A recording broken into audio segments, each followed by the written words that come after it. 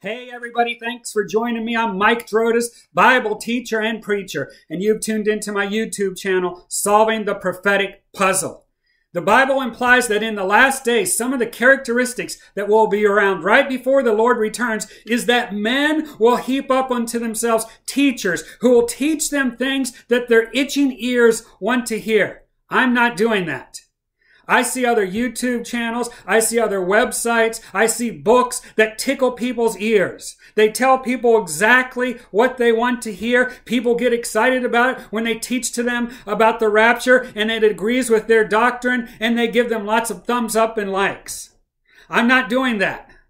It's not my job to have the most views. It's not my job to have everybody like me. It's not my job to go worldwide on a viral uh, video. It's not my job to argue. It's not my job to convince. It's not my job to rebuke. It's not my job to correct. It's not my job to change your mind.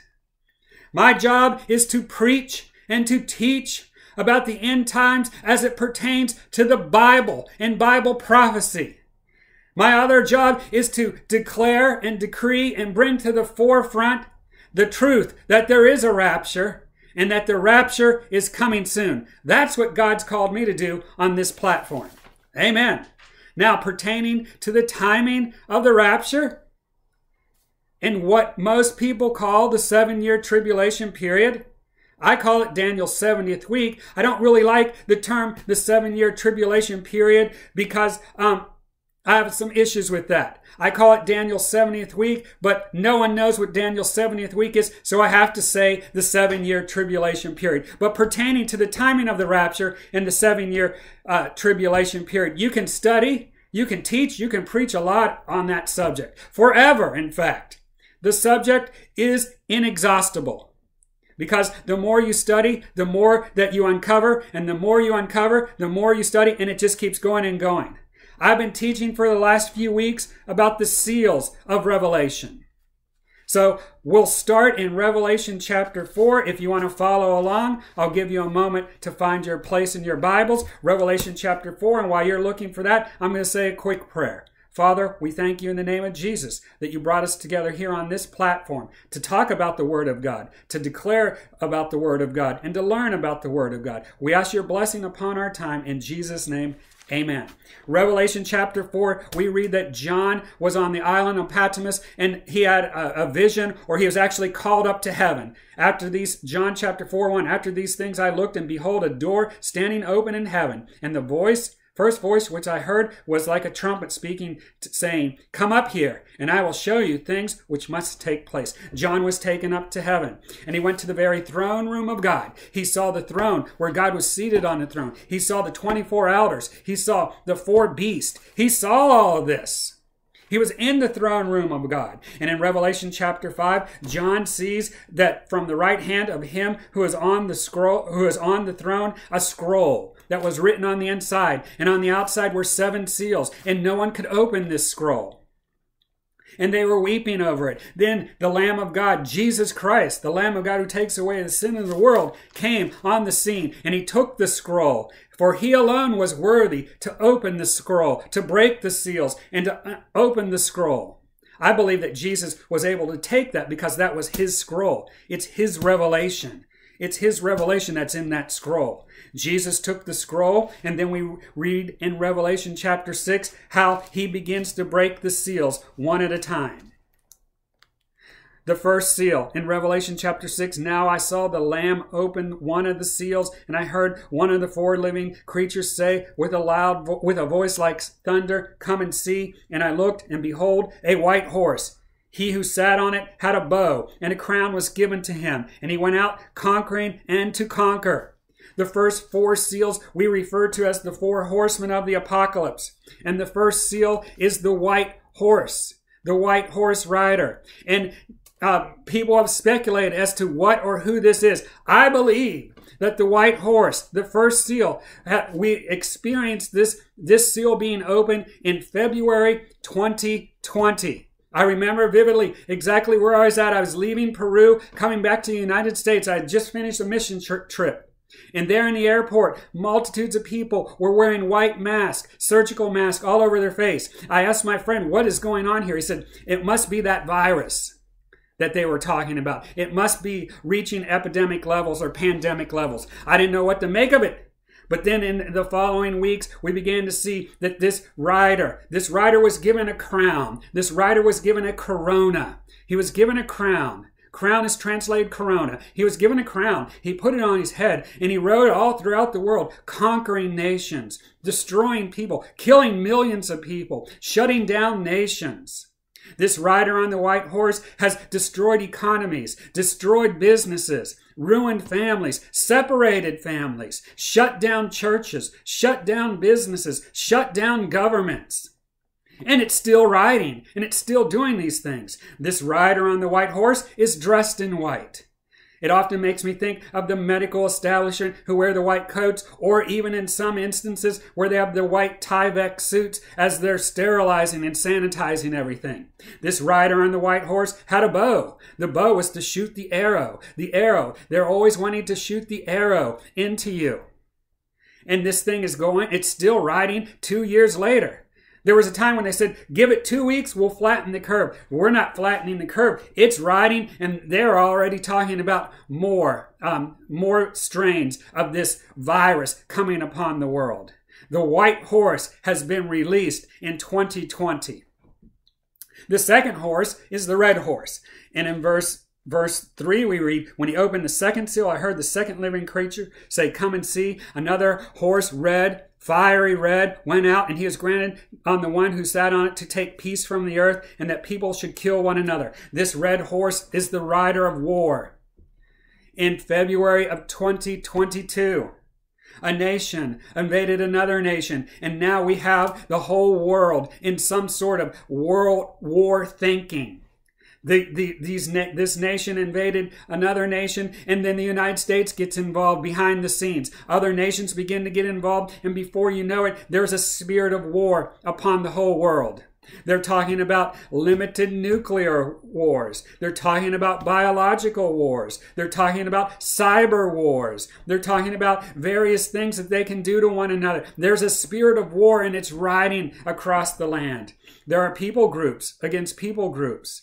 There are the haves against the have nots. There are different religions against one another. There is a spirit of divisiveness in the land, and it's going to continue. It's not going to get better. As you look on the news day after day, you see um, shootings and mass shootings and killings. This, this spirit of war is rampaging throughout the world. The next horse is the black horse.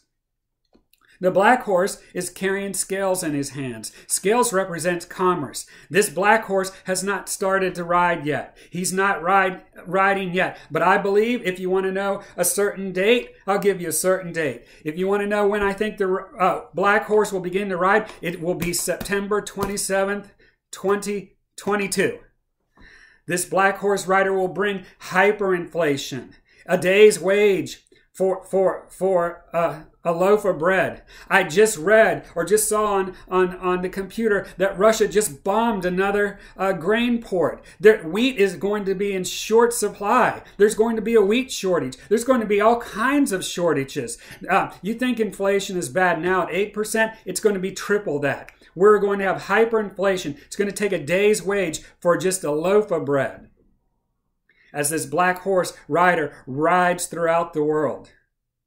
There will be shortages. There will be scarcities. There will be hyperinflation. Your money will be worthless.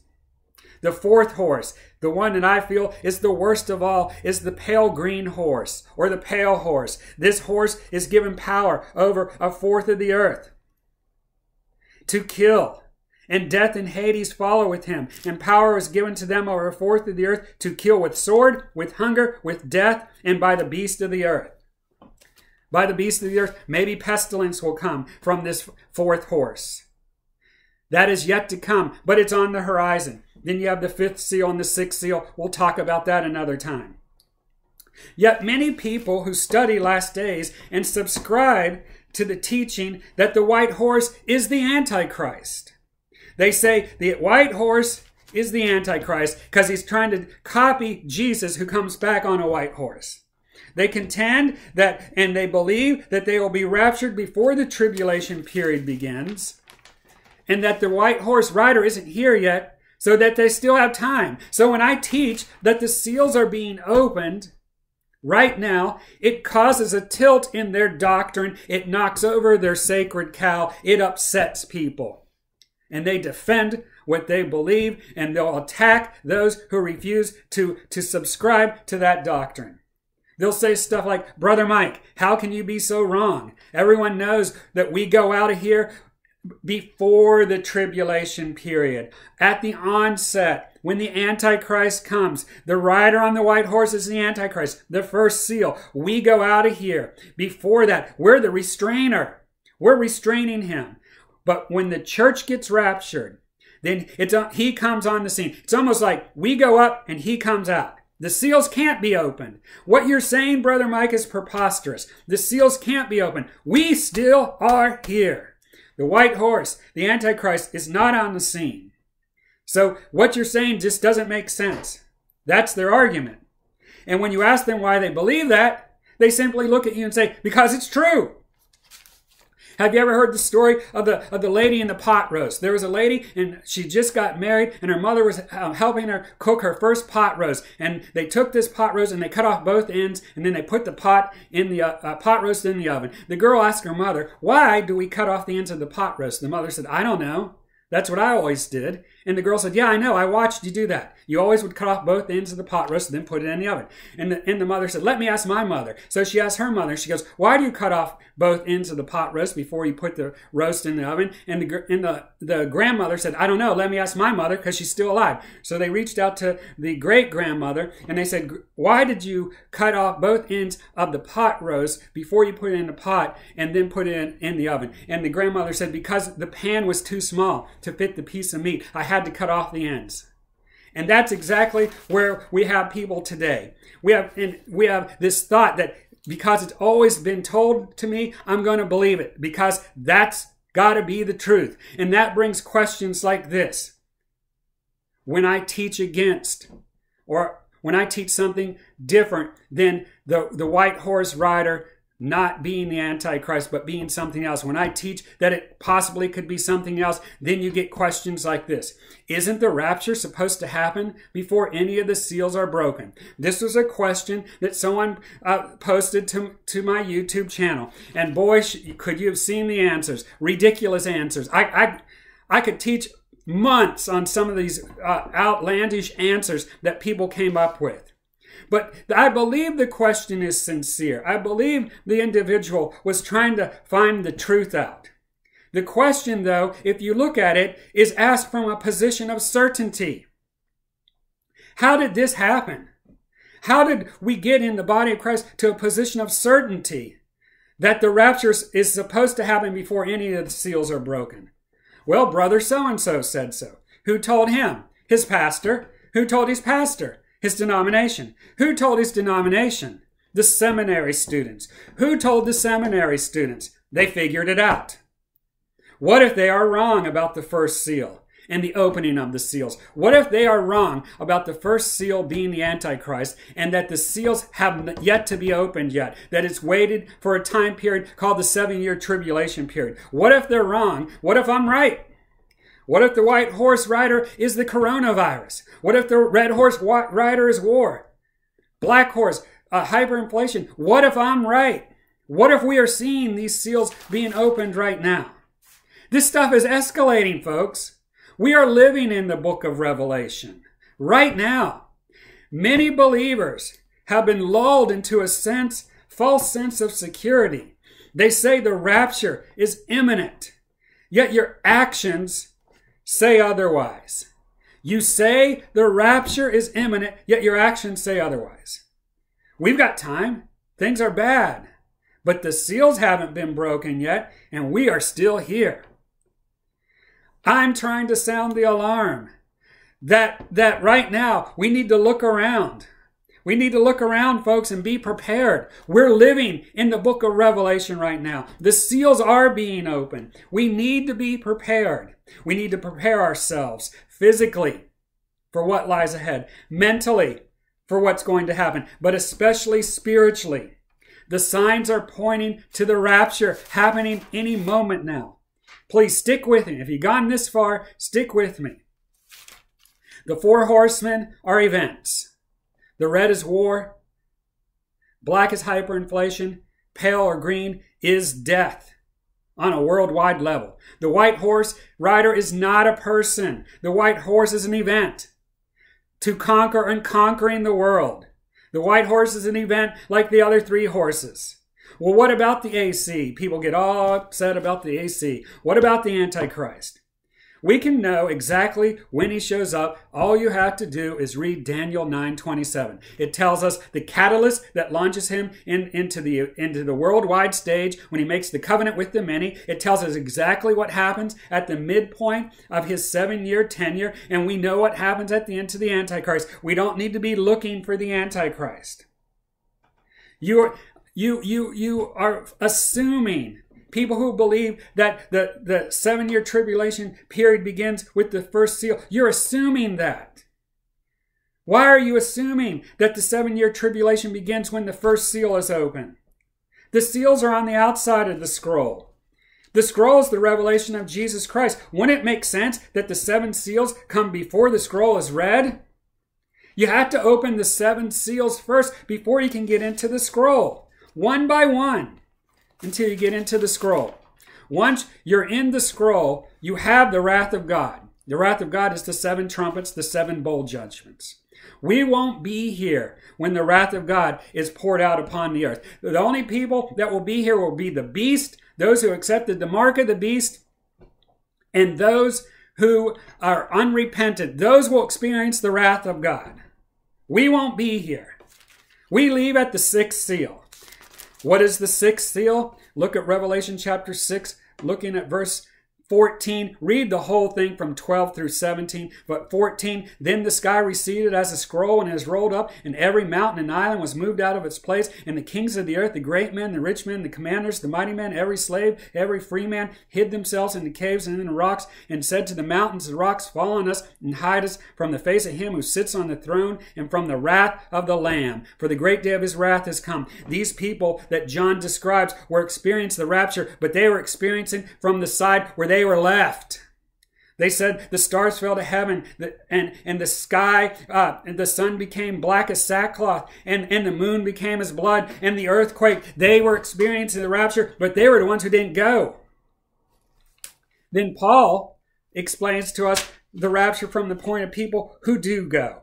Revel, uh, 1 Thessalonians 4.16 For the Lord himself will descend from heaven with a shout, with the voice of an archangel, and with the trumpet of God, and the dead in Christ will rise first. Then we, who are alive and remain, shall be caught up together with them in the clouds. That's the rapture, folks. That's what we have to look forward to. Jesus Christ is coming back soon. Hey, thanks for watching. If you haven't liked or subscribed yet, please do.